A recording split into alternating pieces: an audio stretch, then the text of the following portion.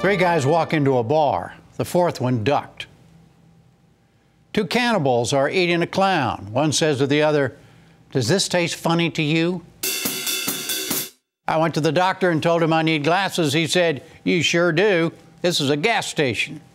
I got a million of them.